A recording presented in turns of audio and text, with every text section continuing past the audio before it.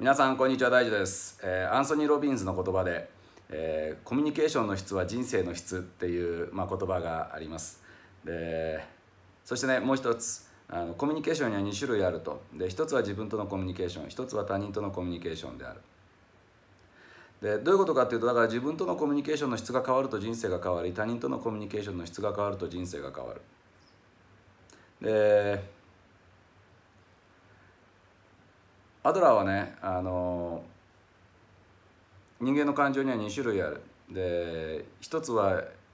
人と人と引きつけるようなタイプの感情。でもう一つは人と人と引き離すようなタイプの感情。だとこういうふうに言ってて。でこれらをねこう組み合わせてみるといかに自分とのコミュニケーションを通じて自分のことを機嫌よく、まあ、要はアドラーは機嫌がいいっていう状態上機嫌であるということがねあの人と人とこう結びつけ合っていく。でコミュニケーションを潤滑にさせていく。そうするといろんなこう課題というのがクリアされていくとこういう発想ですから。だからいかに自分自身とのコミュニケーションで自分を機嫌よくさせてあげるか。でやっぱりなんか自分のことを責めたりあのなんかね、えーぐるぐるこう思考させ続けたりとかで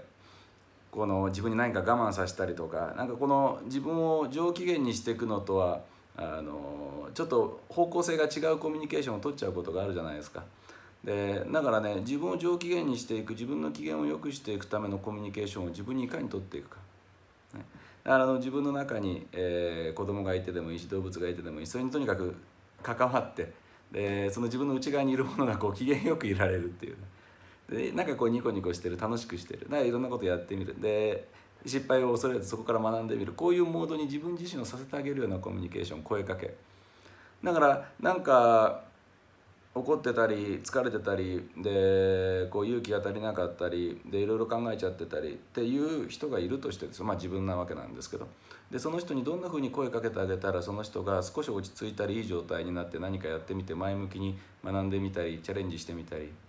で周りの人とうまく関わろうとしてみたりで言われてもその感情的に反応せずにとかうまく話し合えたりどんな声がけをその人にしてあげたらまあ自分なんですけどにしてあげたらそういう状態になるかなって考えてその声がけをしていく。でいきなりバチッと10点満点いい状態にならなくてもいいからお少しずつでも手応え感じてこうしてったら上機嫌になれるんだないい機嫌でいられるんだなっていうのをこう見つけてそのコミュニケーションをとにかく自分にたくさん取り続ける。でそれがコツがつかめたらね今度人にもそのコミュニケーションを取っていく。でそうすると人も上機嫌でいて自分も上機嫌でいてでそこでいろんなことが忌憚のないコミュニケーションが取れるようになるそうするといろんなこう課題がクリアされてったり協力し合えたり分かり合って適切な距離が取れたりでこういうことが起こってくるってこういうことじゃないでしょうかということです参考まで。